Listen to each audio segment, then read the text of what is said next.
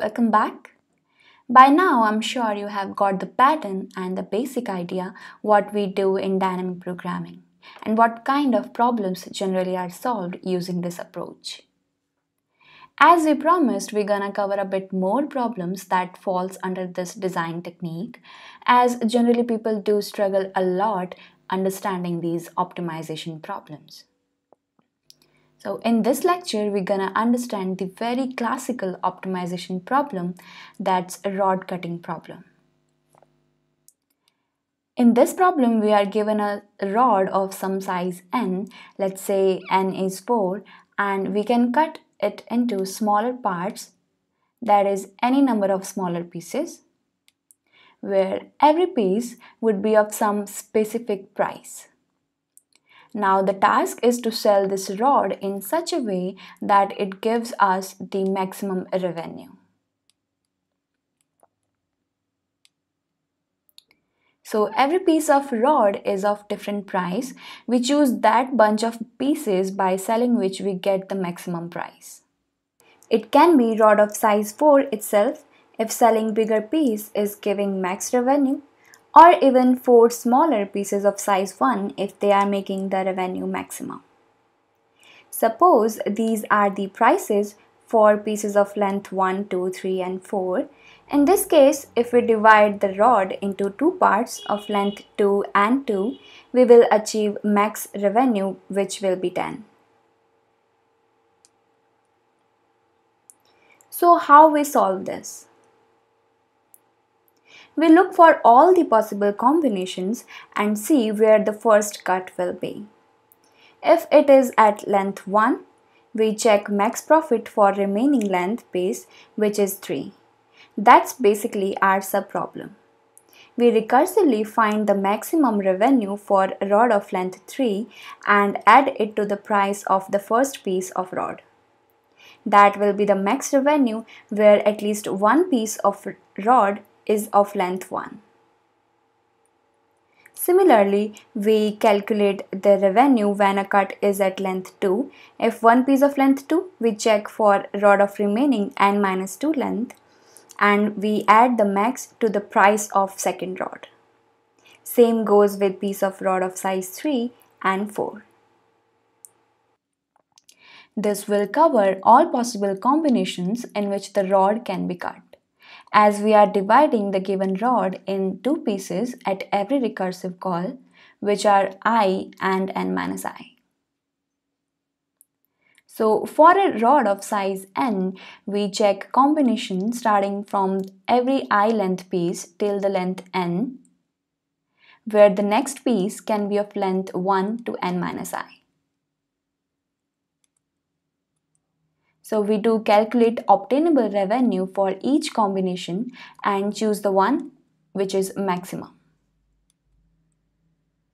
So we create a function that will calculate the max revenue that we can achieve by cutting the rod of length n and we calculate for every iteration i by adding the price of current length with the revenue for remaining length n minus i. Here i is in range 1 to n so we recursively check the total obtainable price in each case and return the maximum. Now the base case is when length of rod is 0. In that case, the price will be 0. Now considering this approach, if we draw recursion tree, we can see there are overlapping subproblems. So this problem clearly has optimal substructure and overlapping subproblems, so we can solve it with dynamic programming. First approach is top-down approach with this approach, we memoize all the results of recursive call in an array. So we take an array of size n and store result of every nth call at n minus 1th index. For instance, here first recursive call will be for n equals to 3, then 2 and then 1. And finally, we reach to the base case it gets value for n equals to 1 and store at index 0 in this array.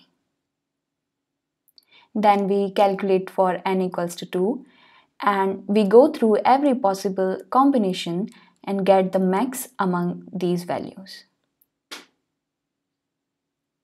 And store here in this array at index 1. Now for n equals to 3, we calculate other possible combinations here. Here when we come across the problem that is already solved, which is for n equals to 1, we don't calculate it further, we just pick the value from the array and again choose the maximum among these values and store it to index 2. Same continues, we don't again calculate similar subproblems. Rather, we take the result directly from the array and finally calculate the max revenue which will be at n minus 1th index.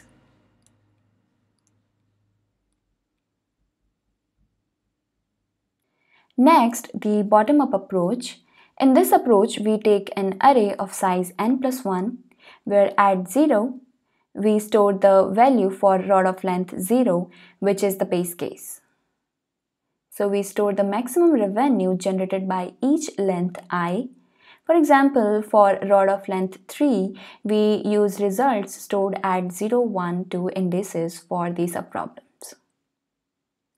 Let's understand we take i and j pointers, i for pointing rod of every length till n and j to go through results of subproblems. As we need to calculate maximum among all n minus i pieces. Here i ranges in 1 to n and j in 1 to i. Now we start from rod of length 1 for length 1, we cannot cut it into further pieces, so the max revenue will be price of 0th index, that's 1. So we store it at ith index, so we store 1 at the index 1. Next, for the rod of length 2, we look for combinations First, not cutting it into any pieces, so we add the price of first index with 0. Next, we decrement j and look for next combination which are of length 1 and 1 or in other words first piece of length 1 and for next we take the result of result present at i minus j position which is 1 we add these values and choose the maximum that is 5 so we store 5 at the index 2 now for i equals to 3, first possibility to not to cut it, so we add price for that piece which is at j minus 1 index. That's P2. Or we can cut this rod into the length 2 and 1. So for the first piece, we just take the price of that piece and for the second one, we take the max revenue that we have already stored at i minus j index. That is 1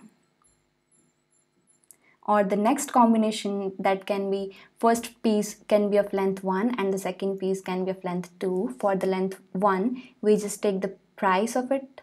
And for the length 2 we take the position we take the max revenue that we have that we are having at the index 2 so we will take these values